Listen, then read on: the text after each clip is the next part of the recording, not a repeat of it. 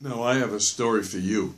Uh, I got up early in the morning and woke up at 5 o'clock or 4 o'clock and I felt rested after taking an antihistamine that Pat gave me. I slept four hours straight through and it was deep. So I felt pretty good. So I got online and did a few things. And at 6.30 I walked out the door and walked to get the, uh, the red car. The red car takes you to the hospital for 30 baht. Got there I was the second person there. So I thought, hmm, this is good. I won't have to wait too long. There's a queue. You put your, there's a little card. You put your hospital number on the queue card, which was number two.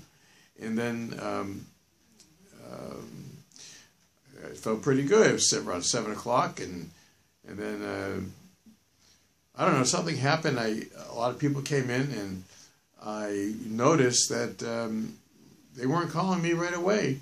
So they, um, well, there was that little cue card was not the right card. The right card wasn't even out there. It was too early. So oh, I got to be sure. Am I looking at the camera? Is it this way? Is it that way? Is it straight ahead? I don't know, but I got to figure this out because you know I want to look el professional. So anyway, um, I was number 22, which irked me. I was just going to say screw it and go home and that's the end of it.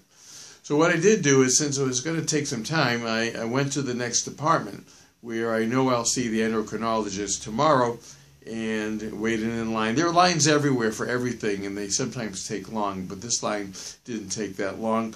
The nurse was nice. She said, look, you should see the endocrinologist tomorrow. But what I didn't want to do is take all the tests that she wanted to take because it wasn't the endocrinologist that suggested. It was just another doctor, just a regular MD doctor. So I then went to the 10th floor uh, at the other building uh, where I would see the dermatologist. And they, the, that nurse was very nice, and she said, I'm sorry, the dermatologist's not here today, but they're here tomorrow. You come back tomorrow, okay? So I said, no, okay. So then I walked back to the original place I was waiting, and when I came back, they said, Mr. Robert. I said, yeah. I, so they took my blood pressure. It was a little high. And um, then they introduced me to the doctor. And lo and behold, how about a doctor who actually, first thing she said to me was, do you know anything about homeopathy? I said, yeah, I know a little bit about it. Because she had these beautiful cases of all different types of homeopathy and um, she gave me three little small pills to take under my tongue to see if that would alleviate the itching, and it helped a little bit, but not enough. But this doctor was was way different than the other doctors. She took a very long time to ask me the questions. She examined me in the room. She looked at my feet. She looked at where I had the poultice and looked at that. And she listened to my heart. And um, very focused, very caring. I could see that she really wanted to help. She gave me two or three more little pills. She treats them like they're gold. Three little dinky pills, small, like, you know, like size of a, I don't know, a little bit bigger than a pinhead. Um, and then she made her recommendations. Uh, she first of all took some of the homeopathy and put it in this water. She says, just drink uh, a cap full of this water four times a day. Well, I don't know. It might take me two weeks or three weeks to, to drink all the water, but I'm going to listen to her.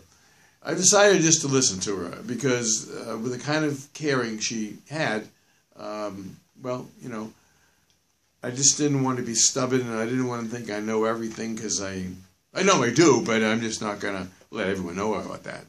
Um, so then there was the, the, the medication and she gave me this medication. Take it any time, she said. Okay?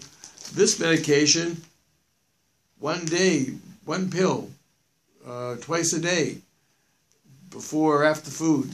And, and, and there's this medication. See that? Big box. That you take that. Uh, this is for the edema. So I keep remembering what what um, my good friend Wendy says. My good, good friend Wendy. Oh, she, she definitely has a few opinions about things. Well, so do I.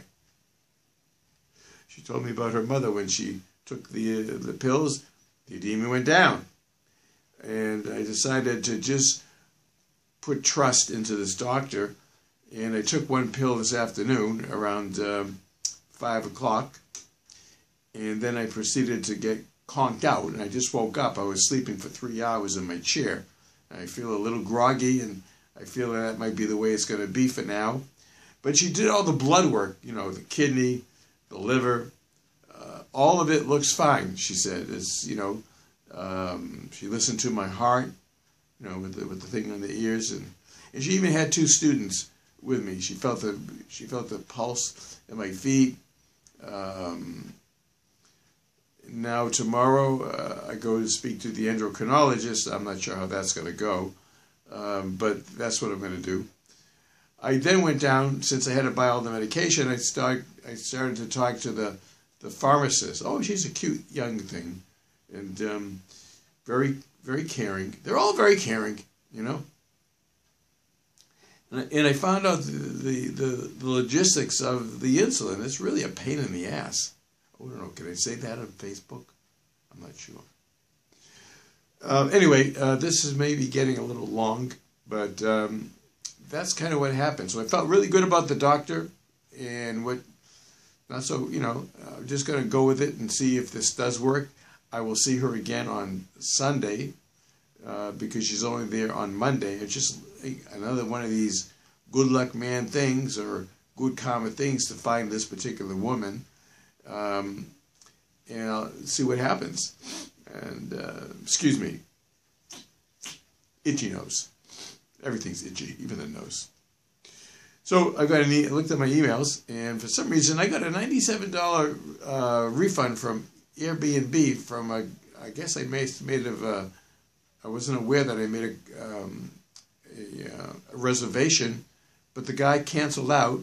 So then they give you all your money back, and with a nice apology, and that was nice. And um, you know, so I also got the uh, email saying that the the Farpoint 40 liter Osprey package uh, backpack will be in in the the uh, store tomorrow on well on Wednesday, and I can pick it up anytime after that. So I told him I, I have to go to immigration on Thursday, which is exactly in the same spot. It's a big shopping mall, immigration and all that and I'll um, hopefully um, pick it up. Now, what's interesting is um, when I came home, and I did a lot of walking today. I mean, a lot of walking from the hospital up the stairs, down the stairs, elevator, escalator, uh, everywhere. I, I walked long distances, and I noticed my there was more spring in my step, and I felt stronger. Uh, so I really think that um, these um, Crocs may be the way to go. But I got to find a better sock because the sock that I'm using uh, has an elastic band and it cuts off my circulation and there's a pretty big indent in my leg and that's not good.